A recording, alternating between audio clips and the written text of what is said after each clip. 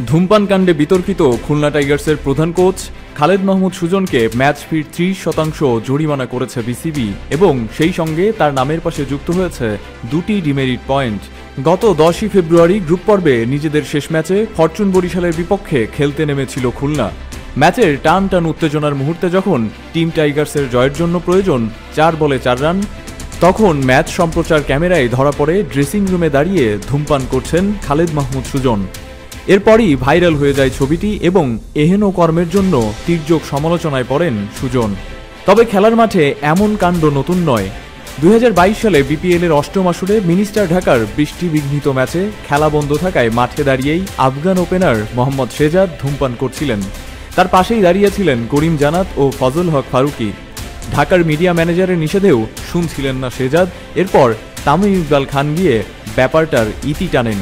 আফগান এই ওপেনার অসন্তুষ্ট হলেও বিসিবির কোড অফ কন্ডাক্ট বিরোধী কাজ করার জন্য শাস্তি পেতে হয় শেজাদকে দুই সালের সতেরোই অক্টোবর আইপিএলে রাজস্থান ও ব্যাঙ্গালোরের ম্যাচের শেষ সময় ডাগাউটে থাকা প্লেয়ারদের উত্তেজনা করা চেহারা দেখানোর কৌতূহলে ব্রডকাস্টিং চ্যানেলের ক্যামেরা খুঁজে নেয় ব্যাঙ্গালোরের ওপেনার অ্যারন ফিন্সকে কিন্তু ব্যাড টাইমিং ফর ফিন্স। সে সময় ড্রেসিং রুমের জানালার পাশে দাঁড়িয়ে ভেব টানছিলেন তিনি। ভিডিও ক্লিপটি ছড়িয়ে পড়লে ভারতীয় সমর্থকদের তীব্র সমালোচনার মুখে পড়তে হয় অ্যারন ফিন্সকে। নিউজিল্যান্ডের সাবেক ক্যাপ্টেন ব্র্যান্ডন মেককেলাম নিজেই স্বীকার করেছিলেন। দু হাজার পনেরো সালের সাউথ আফ্রিকার বিপক্ষে সেমিফাইনালের সেই স্মরণীয় জয়টা তিনি সরাসরি দেখতে পারেননি, কারণ তিনি আড়ালে ধূমপান করছিলেন। সুইডেনের কিংবদন্তি ফুটবলার জলাতান ইব্রাহিমোভিচও মাঠে ধূমপান করতে করতে প্রবেশ করেছিলেন। ক্যারিয়ারে অনেক বিতর্কের জন্ম দেওয়া এই ফুটবলার এসি মিলানের সিরিয়ায় টাইটেল জেতার পর মাঠের মধ্যেই সেলিব্রেশন পার্টিতে ধূমপান কাণ্ড করে বসেন। Italian hot headed footballer Mario বালোতেল্লিও ক্লাবের হয়ে ফুটবল খেলার জন্য মাঠে গিয়ে মাঝে মধ্যেই ধূমপান করতেন।